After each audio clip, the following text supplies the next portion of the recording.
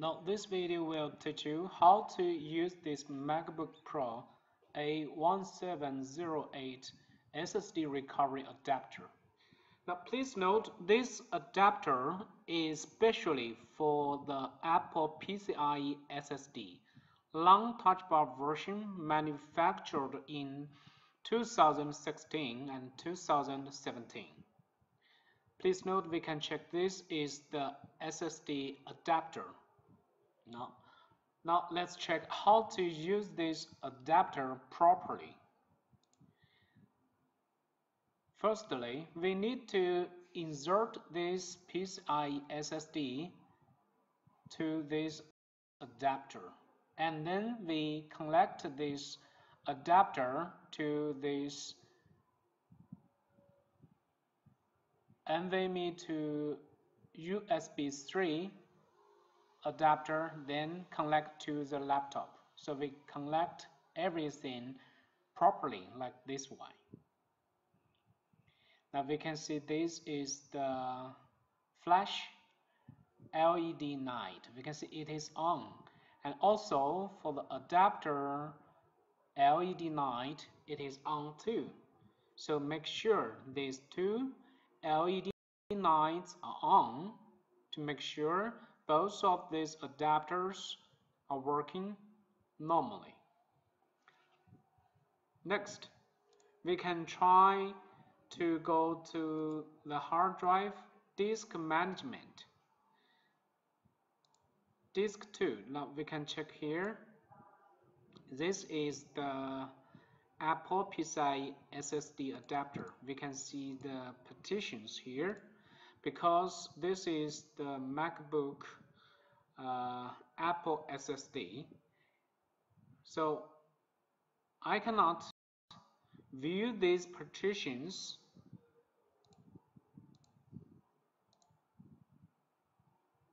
I cannot view these partitions directly within the Windows operating system. So it's not here, but it's shown in uh, disk management. Now to view these partitions, we can use special data recovery hardware tools or we can also view these partitions by some data recovery software such as the RStudio. Now let's check in RStudio first. Within RStudio, we can see here the JMicron Tech.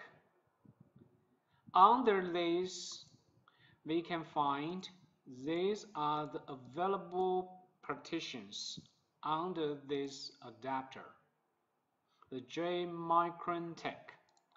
So it is very easy to view the partitions here under the JMicron Tech.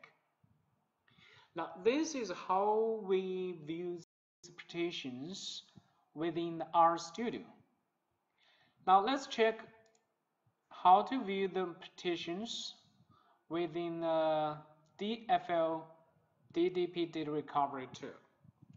Now we go to the DFL cPanel and within the cPanel, we can also find the J Micron Tech 0208.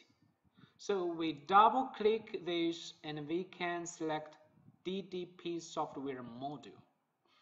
Select DFL SRP. Now if you have the DFL DRE, that means the DFL PCI data recovery hardware too. So you can check the hardware name here and then click OK. Next, we enter the DFL DDP data recovery program. We select this data extraction icon, select here, select this source drive. Now we can find out here the source drive J Micron Tech is showing here as the source disk. So we click next. Now we select the file extraction directly. Click finish. Then the program is starting to list the partitions available within this Apple PCIe SSD. Please note this SSD is from the A1708 MacBook Pro and it is the non touch bar version. Please make sure if you want to get this adapter this adapter detected within the disk management or available in the RStudio or available in the DFL cPanel. We need to make sure this SSD is good itself. If this SSD is damaged or has firmware failure, then users cannot use this adapter. This is just one adapter. It cannot repair the bad sectors. It cannot repair the firmware corruption. So please take note on this one. So this is the method on how we can view the partitions within the Apple PCI SSD. Please note this one. We mention it again. The ID, Mac Pro, MacBook Pro ID, the A1708.